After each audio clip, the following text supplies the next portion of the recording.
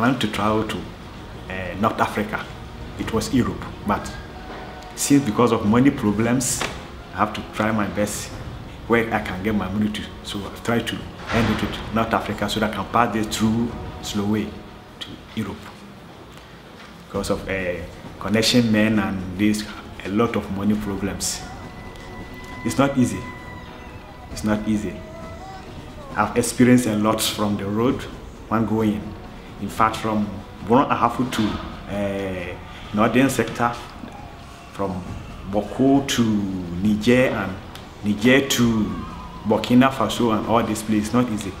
Even on my way, I met our vessel and I was going 250 people. They've collected everything from us. And we have to be either you walk or you don't even, I don't even know what to say because it's not easy. When they collect any, everything from them, I mean food, water, money, everything. The remaining means you have to plan for yourself how to enter inside. So, with my colleagues, we decide to walk. So I work on the desert for two good weeks. It's not easy. And I'm ready to enter inside Libya, which is North Africa. And it is not easy to, to enter there. When you get there, how to work is not also easy because you don't have papers. So try.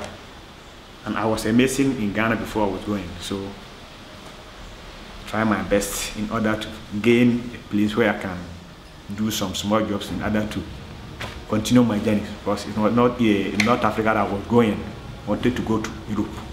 So I have to do some jobs so that I can enter. Yeah.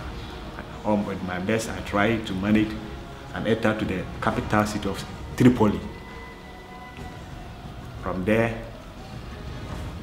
I was working, but because of paper problem, as I said here, uh, earlier, it's not easy to stay in the town. You be working whilst you meet uh, the Asma boys. You may ask who is Asma boy?